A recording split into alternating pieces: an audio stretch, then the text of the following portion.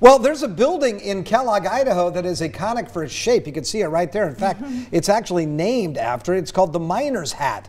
It has lured motor, motorists uh, since 1940 when Mary Etta Page had it built next to Highway 10. She ran it as a roadside diner. That's a place where tourists and hungry workers driving to and from Kellogg's lead and silver mines could grab a beer or the famous Miner's Hat hot dogs. Mm-hmm. Well, the building is now being added to the National Register of Historic Places. They say this type of programmatic architecture was actually really popular between 1920 and 1950. By the way, now it's a real estate office. I think it's a very cool addition Yeah. to the area.